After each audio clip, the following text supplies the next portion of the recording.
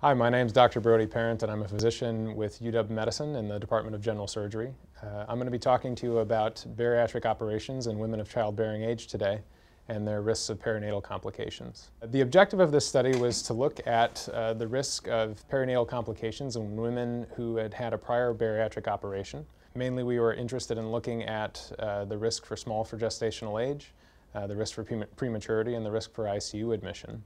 Bariatric surgery is becoming one of the uh, fastest growing uh, operations in the United States. Just in the past 10 years, the rate has gone from 4 per 100 patients to 8 per 100 patients, uh, so it's doubled.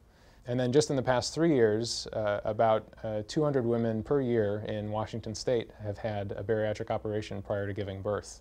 Um, so I think this is a timely and relevant question. We studied Washington state mothers who gave birth between 1980 and 2013. The uh, first uh, population that we looked at was a group of women um, as a population random sample.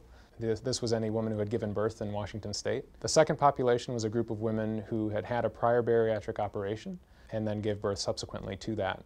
Um, we were able to link their hospital discharge records to birth certificate records uh, in order to link their perinatal outcomes to their hospital history. So the main results of the study are that women who'd had a prior bariatric operation and their infants had higher risk of perinatal complications. Mainly, their infants had a higher risk of ICU admission, being small for gestational age, being premature, or having a low APGAR score. In particular, I think the more interesting and important finding of the study is um, they uh, had a highest risk within two to three years of the operation, but in fact, the risk of perinatal complications uh, after about three to four years tended to go back down towards a population baseline. The major limitations of this study were that it spanned a large time period, uh, mainly from 1980 to 2013, and undoubtedly uh, surgical techniques and obstetric techniques have changed over time. The other major risk, or the other major limitation I would say, is that the exposure that we defined is an aggregate exposure uh, meaning it contains three different subtypes of bariatric surgery, so that can make for less precision.